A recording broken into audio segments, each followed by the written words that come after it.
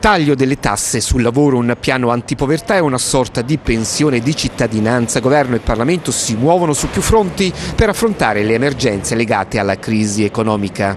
La riduzione del peso fiscale sul lavoro per Palazzo Chigi resta la priorità. Lo stesso Gentiloni lo ha annunciato in tv. I tecnici studiano ipotesi in grado di portare nelle tasche dei lavoratori dai 300 agli 800 euro all'anno attraverso uno sconto sui contributi.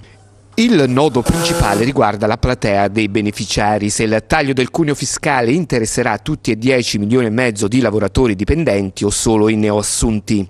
Al Senato invece si attende il via libera definitivo alla legge delega sulla povertà. Si tratta di un provvedimento organico per far uscire dallo stato di indigenza 2 milioni di persone.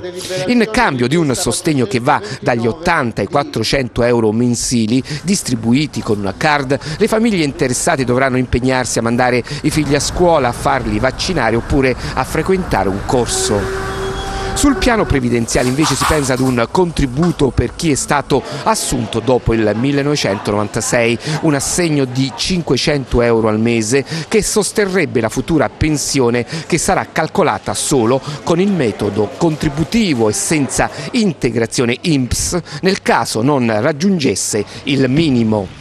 Misure che lette politicamente dicono che il governo Gentiloni si prepara a completare la legislatura naturale.